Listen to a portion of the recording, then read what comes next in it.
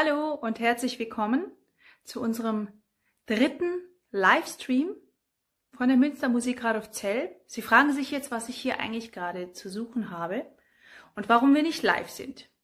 Wir können leider den dritten Livestream nicht live senden, da nämlich die Pfarrgemeinderatswahlen stattgefunden haben und die Auszählung läuft. Und deswegen können wir die Räumlichkeiten heute nicht benutzen. Und wir haben gedacht, bevor wir keinen Livestream haben, drehen wir ein bisschen vor. Wir machen das quasi wie beim Neujahrskonzert der Wiener Philharmoniker und füllen jetzt die Lücke, und zwar die große Lücke, bis die Gottesdienste und die Proben wieder stattfinden können. Und das nutzen wir heute, um Ihnen zu zeigen, was wir eigentlich in der Woche so machen und wo wir uns aufhalten. Und in diesem Raum halten wir uns sehr oft auf. Ich drehe mich jetzt ein bisschen. Sie sehen hier unser Solistenzimmer. Und in diesem Zimmer arbeiten wir mit den Solisten für die Konzerte, für die Gottesdienste, mit den Orchestermessen. Wir arbeiten aber auch mit den Solisten von der Jugendkantorei. Auch die proben hier, wenn es extra Proben gibt. Und Sie sehen hier stehen viele, viele Noten und natürlich der wunderschöne Flügel von Andreas. Hier verbringen wir also sehr viel Zeit. Mindestens dreimal die Woche halten wir uns hier für mehrere Stunden auf. Und wir haben auch ganz toll ein Telefon. Und da können Sie uns anrufen. Aber nicht, wenn wir proben, denn da brauchen wir Ruhe. Jetzt gehen wir weiter. Ich möchte Ihnen nämlich heute noch ein bisschen was anderes zeigen. Und zwar gehen wir durchs Treppenhaus. Ich glaube, Sie waren hier noch nie drin. Und vielleicht hören Sie schon an der Akustik. Es ist ganz still hier. Normalerweise sind hier hm, einige Leute unterwegs. Und jetzt gehen wir mal runter. Kommen Sie mit.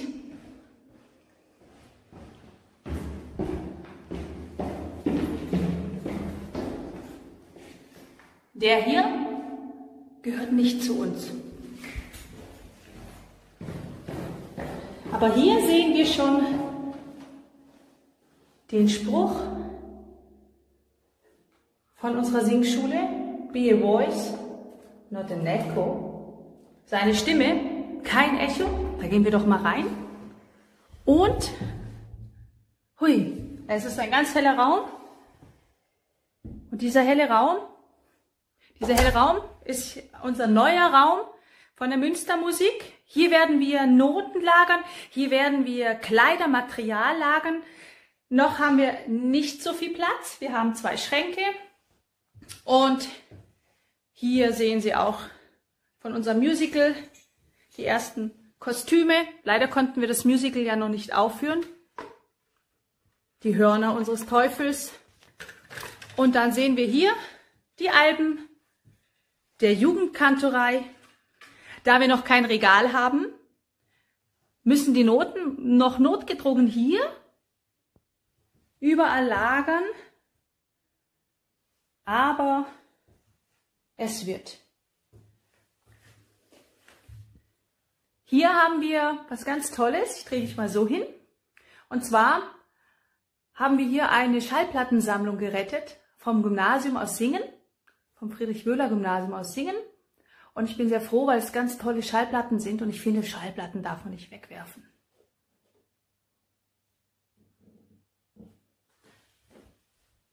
Genau, und jetzt gehen wir wieder raus. Wir verlassen diesen Raum.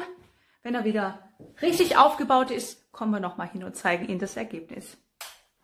Jetzt verlassen wir diese Tür, ziehen sie zu und gehen in den nächsten Raum. Hinter mir ist gerade die Garagentüre kaputt. Viele fragen sich immer, Mensch, wo parken eigentlich die Leute, die ähm, in der Höllstraße wohnen? Schauen Sie mal kurz rein. Da parken wir. So, jetzt gehen wir aber ganz schnell raus. Ich renne jetzt mal und ich laufe rückwärts und ich hoffe, ich breche mir dabei nicht die Beine, denn jetzt gehen wir in diese Tür rein. Da mache ich mal das Licht an. Jetzt stehe ich im Treppenhaus, in einem anderen Treppenhaus schon wieder. Und zwar im Treppenhaus Straße. Ich höre Musik, Sie auch? Da gehen wir doch mal hoch und schauen.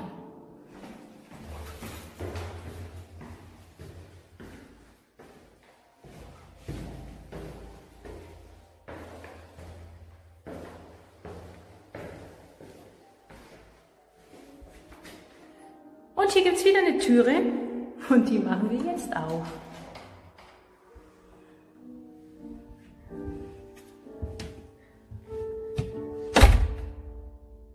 Wir befinden uns jetzt im Foyer im Friedrich-Werber-Haus und ich zeige Ihnen mal, wo unsere Kinderkantorei jede Woche mit der Frau Burger probt.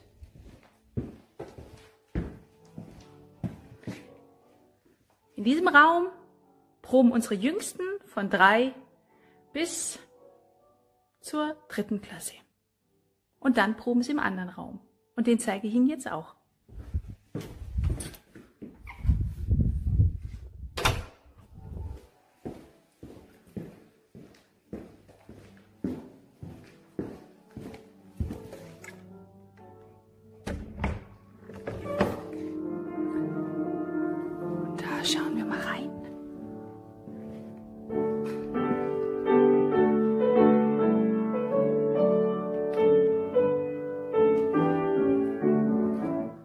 Probt der Andreas gerade. Ja, wir sind jetzt hier im großen Saal vom Friedrich-Werber-Haus, von unserem katholischen Gemeindehaus. Und es ist einfach ungewohnt, denn der Saal ist leer. Wenn man mal so ein bisschen rumschwenkt und rumschaut. Hier, wo sich eigentlich doch die Menschen äh, versammeln, normalerweise, wo die ganzen Chorproben stattfinden, das ganze musikalische Leben auch unserer Gemeinde, die Vorbereitungen darauf, ist jetzt einfach seit geraumer Zeit gar nichts mehr. Und ähm, ja, das ist, das fehlt. Ich muss einfach sagen, das fehlt und äh, ich vermisse diese Chöre. Ich vermisse euch alle vom Münsterchor. Ich weiß genau, wer wo sitzt. Ich habe das hier vor Augen, wenn ich hier stehe. Und es ist einfach niemand da. Ja. Wir waren in der letzten Probe fast 80 Sänger. Der Meinratschor und der Münsterchor hatten die letzten zwei Proben zusammengeprobt und wir haben gemeinsam die Krönungsmesse vorbereitet und geprobt von Mozart. Wir hatten tolle Solisten. Es war alles wunderbar geplant. Ähm, aber dann kam, kam, eben diese Epidemie und äh, seither finden keine Proben mehr statt. Ja, es ist eine ganz merkwürdige Situation und auch ein ganz merkwürdiges Gefühl. Ich möchte euch auch, liebe Chorsängerinnen und Chorsänger, sagen, ihr fehlt mir. Es ist wirklich, es ist ähm, merkwürdig und nicht nur ihr, sondern auch die Situation allgemein.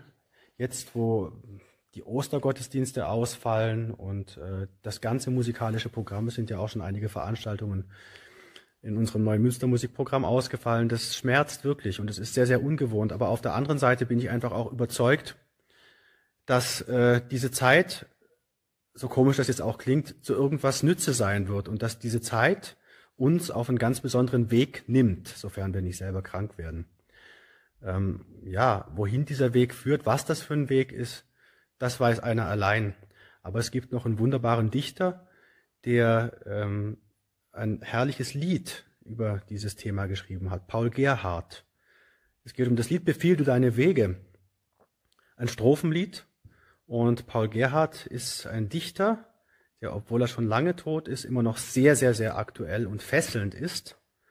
Ähm, und einer, der wirklich weiß, was Epidemien oder Pandemien, was das sind. Er kommt aus einer Zeit, da kannte man das wirklich noch. Wir haben das heute ja so gut wie vergessen. Und dieses Lied Befiehl du deine Wege von Paul Gerhardt wurde vertont von Uwe Strübing.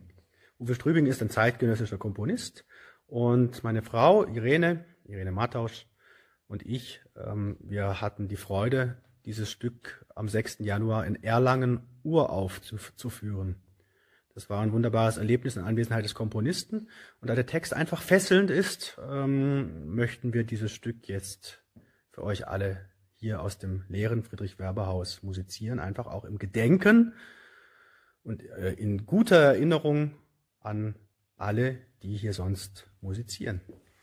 Und wir schicken euch hiermit viele Grüße und bleibt bitte alle gesund. Wir freuen uns auf ein Wiedersehen mit euch.